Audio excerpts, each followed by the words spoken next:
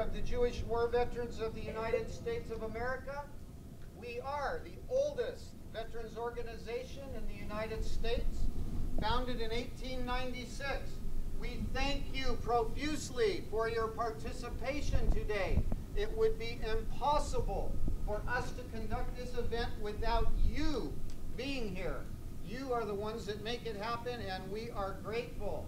And more than us being grateful, the veterans who you are gifting are grateful. Many of these veterans do not get a visit all year. You might be the only person that visits them the entire year, and you will be bringing a gift. You will be welcomed, I promise you. Now we're just a very quick briefing here. A lot of you folks have been here before and could probably tell me what to do. But we're not going to do it that way. We're going to clue everybody in and we're going to let everybody know exactly what's happening. So here's the deal.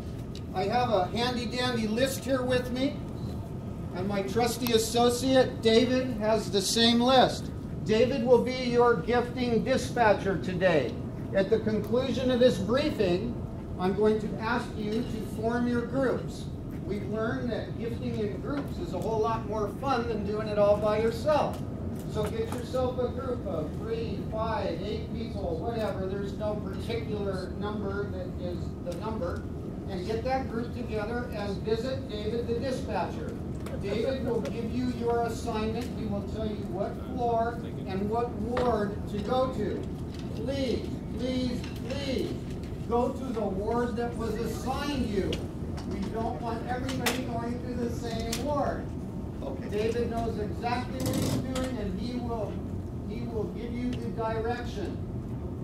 I see a question in the back. Yes, sir. Yeah, this is my first time here, so uh, no cameras. I'm taking the only cameras that are authorized to go upstairs. Well, there you go. So if you're gonna take a picture, you better follow with me. No cameras. We have to be cool. You can No take cameras. photos of yourself and of your group.